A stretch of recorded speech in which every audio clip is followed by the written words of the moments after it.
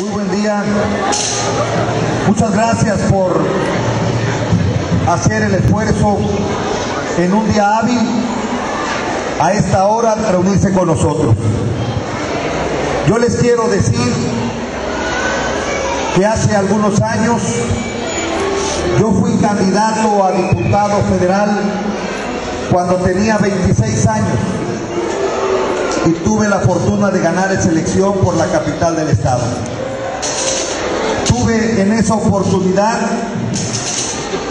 la posibilidad de ser el diputado federal más joven de la República en el Congreso de la Unión, en esa legislatura. Y en esa legislatura conocí a un mexicano oriundo de Sonora. Fui diputado federal con él. Él después secretario de Desarrollo Social. Después fue presidente nacional del PRI. Y después fue candidato del PRI a la presidencia de la República, pero lo mató la historia. Luis Donaldo Colosio Murrieta.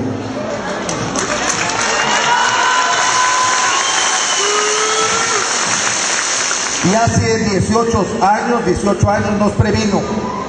Tengamos cuidado, no vaya a ser que nos esté engañando el pan con la verdad y nos esté ofreciendo un cambio, pero como la reversa, para echarse para atrás, para retroceder, o como decimos coloquialmente, de recule. Y vemos a 18 años de muerto de Luis Donaldo que efectivamente ese cambio que nos prometió el PAN fue precisamente para atrás. Y quien quiera argumentar lo contrario, solo basta recordarle que el actual presidente de la República, el presidente Calderón, cuando era candidato nos ofreció ser el presidente de qué? Del empleo. ¿Y nos cumplió? Claro que no. Y les voy a dar números.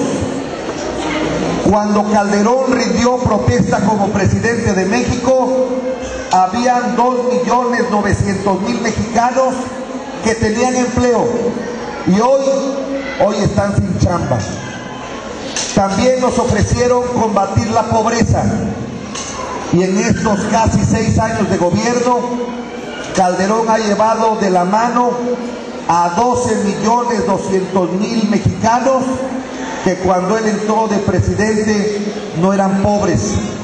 Y el tecnológico de Monterrey nos asegura que cuando tome posesión Peña Nieto como presidente de México, habrá acumulado Calderón 15 millones de pobres. Y en materia de seguridad, ¿cuál fue el cambio en materia de seguridad? El cambio se fue en el sentido de que ahora tenemos 62 mil muertos en menos de seis años, muertos que antes no sucedían en el país. Antes, cuando había algún homicidio en el que le cortaban la cabeza a alguien, pasaba cada 20 años y era noticia mundial. Ahora es muy común saber que le cortaron la cabeza a 20 en Tijuana, a 13 en Tamaulipas o a 14 en Yucatán. Ese es el cambio que nos dio el Partido Acción Nacional. Por eso, de las pocas coincidencias, o quizá la única que tengo con el Partido Acción Nacional, él es, es el eslogan que trae la campaña de Josefina Vázquez Mota, que dice que es posible un México diferente. Claro que es posible. No solo es posible, es necesario un México diferente. Pero la mala noticia para los del PAN es que ese México diferente no lo podemos construir con los mismos que nos han llevado al caos y al retroceso.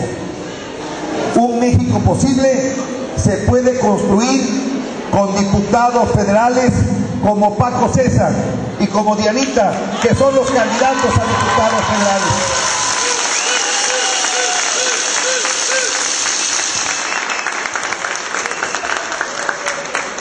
Y es posible porque los dos, Paco y Diana, saben que en sus facultades está autorizar los recursos federales, el dinero de la federación para que pueda invertirse aquí en el distrito y para que ustedes puedan tener esa agua potable que tanto necesitan, ese drenaje que han demandado, que tengan el empleo que no tenemos porque nos ha fallado el gobierno federal.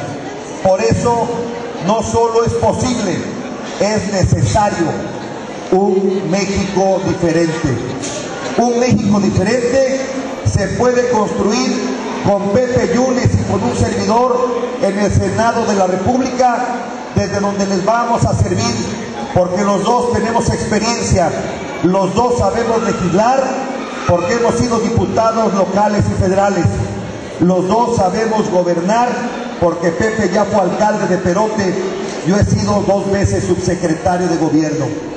Es posible un México diferente, pero con Enrique Peña Nieto como presidente de la República, para que le cambie la cara a la República, para que agarre